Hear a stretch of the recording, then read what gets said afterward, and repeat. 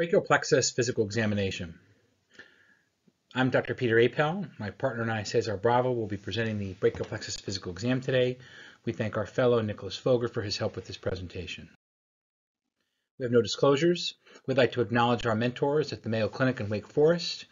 Uh, here is our brachial plexus team at Carilion Clinic. It's important to remember that care of the brachial plexus patient is a team approach. Plexus comes from the Latin word braid, which means a branching network. The brachial plexus starts at the roots uh, as they come out of the spinal cord and include contributions from C5, C6, C7, C8, and T1. As the roots uh, pass distally, they form the upper, middle, and lower trunks. As the uh, brachial plexus passes under the clavicle, the anterior and posterior divisions come together to form the lateral, posterior, and medial cord, named based on their relationship with the uh, axillary artery. Distally, uh, distal to the pectoralis minor muscle, the brachial plexus goes into the terminal peripheral nerves. The physical exam of the brachial plexus starts with sensation. Sensation follows the normal dermatomes and should be documented with all exams. Manual motor testing is the most complex aspect of the physical exam and will be covered in detail here. In addition, pulses should be checked at the radial, ulnar, and brachial levels, as oftentimes pan-plexal injuries have associated vascular injuries. Exam for Tinel's at the roots and Horner syndrome is also helpful in differentiating pre versus post-ganglionic brachial plexus injuries.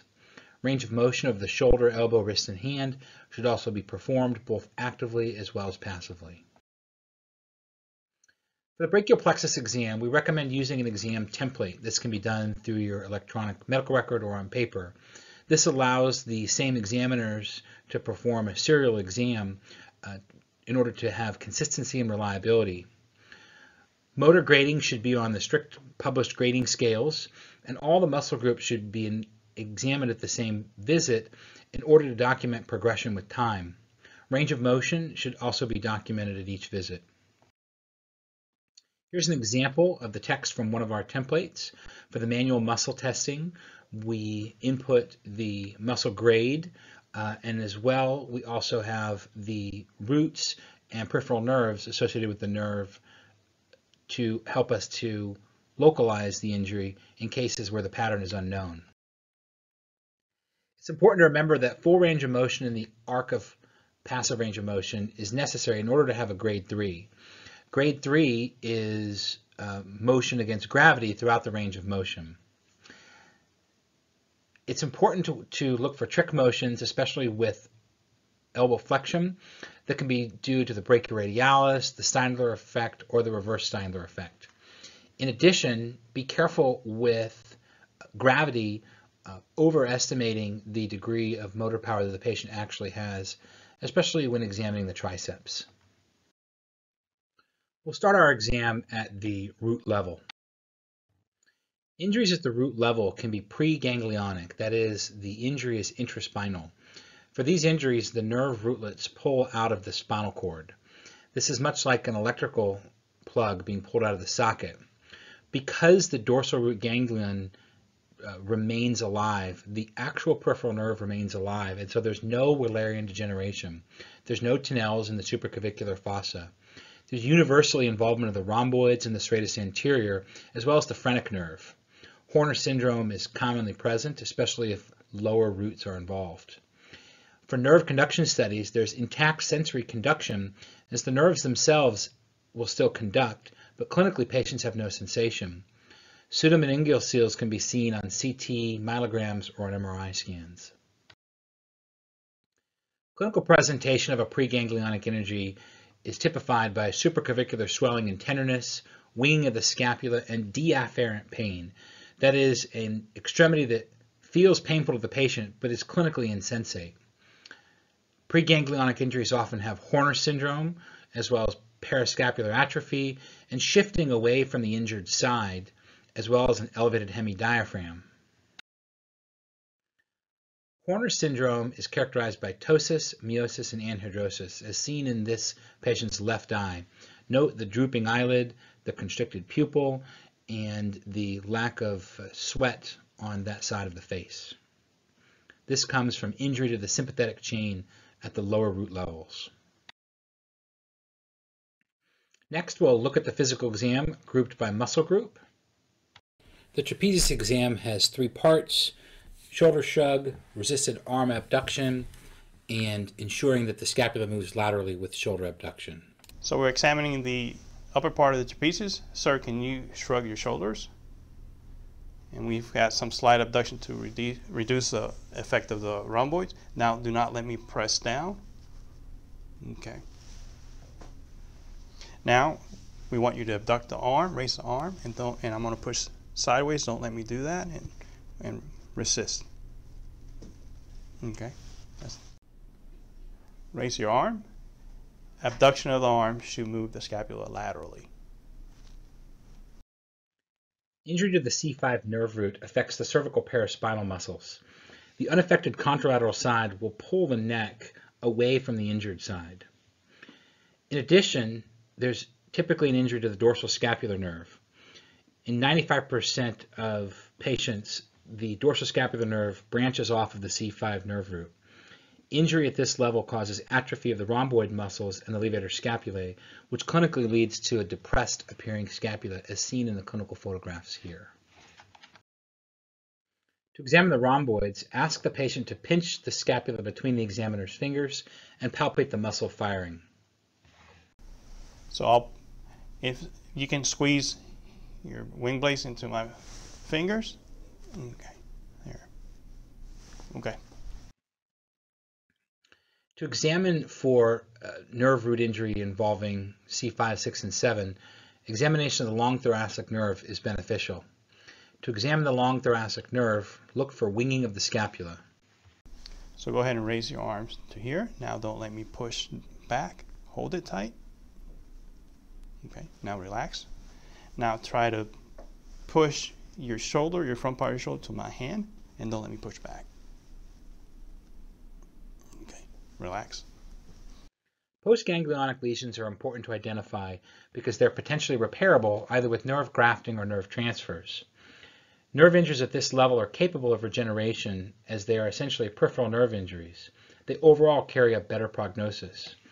EMGs will demonstrate normal innervation of the cervical paraspinal muscles as the level of injury is distal to where the motor nerves take off to go to the paraspinals.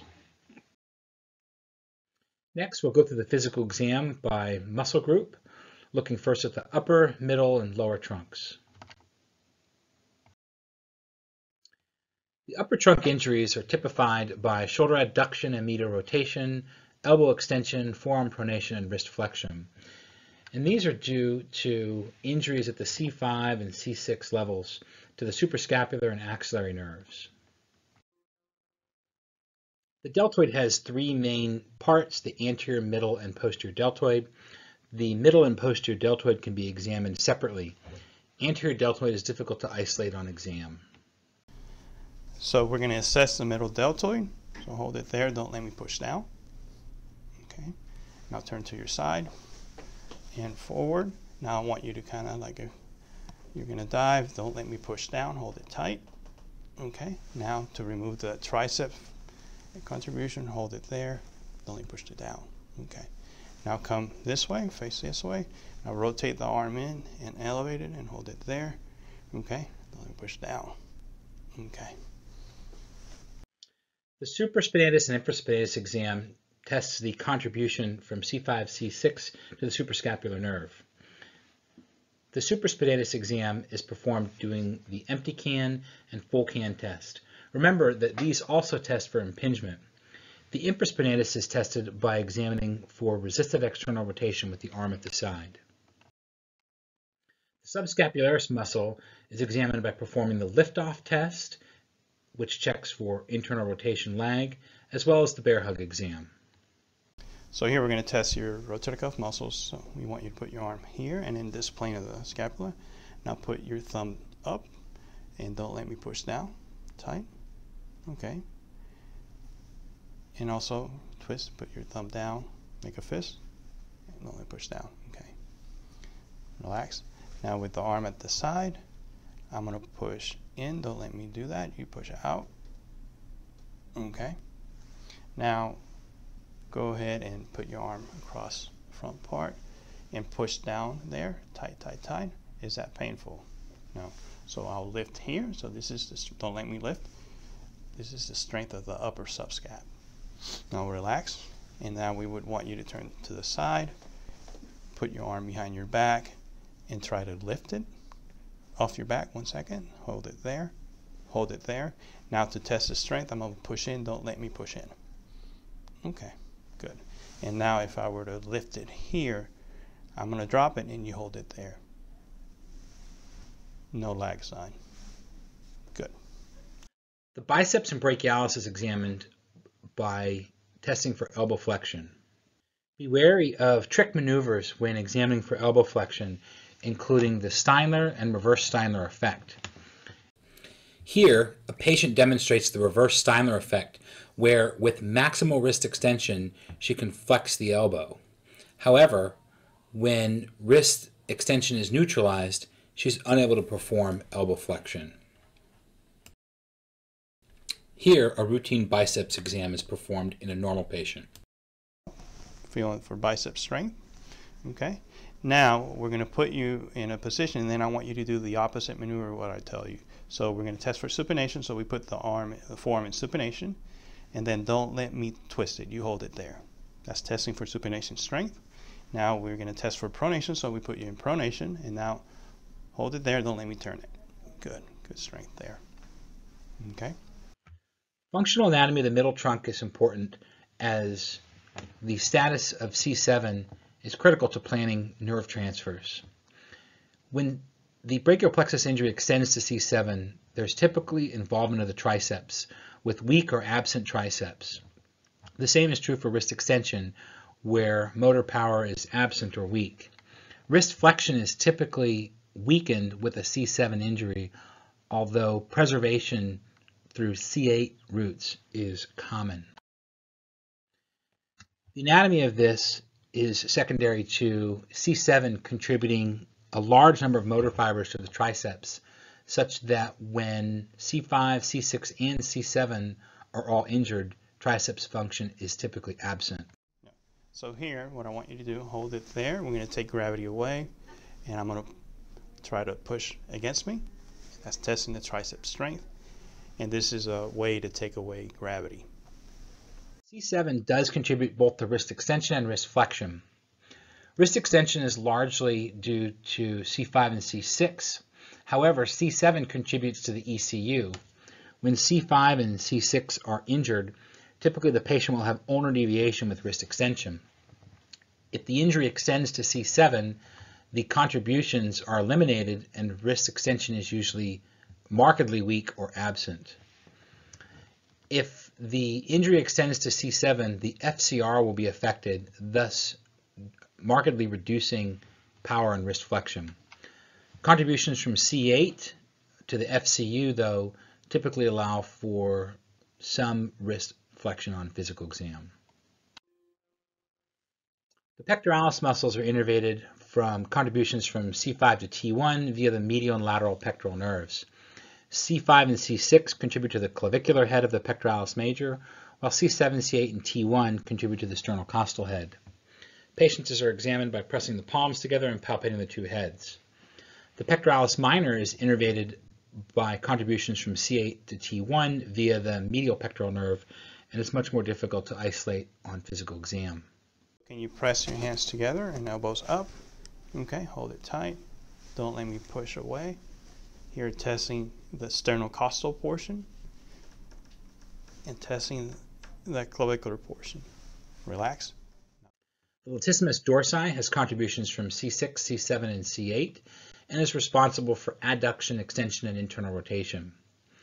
Exam can be performed with coughing to differentiate the latissimus from the teres major.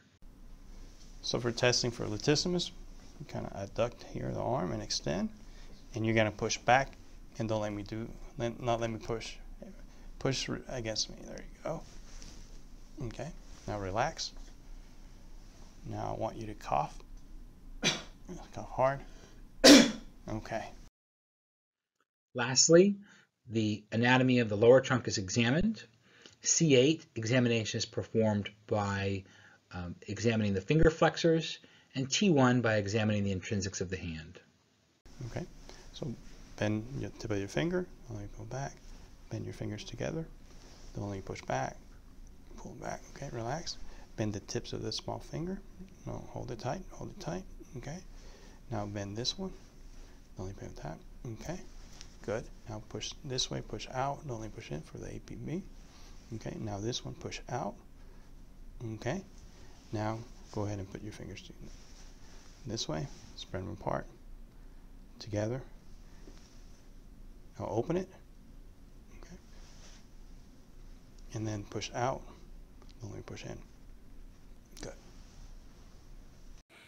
A careful and detailed physical examination will allow you to care for the brachial plexus patient by localizing their lesion, following their progress, and planning your intervention.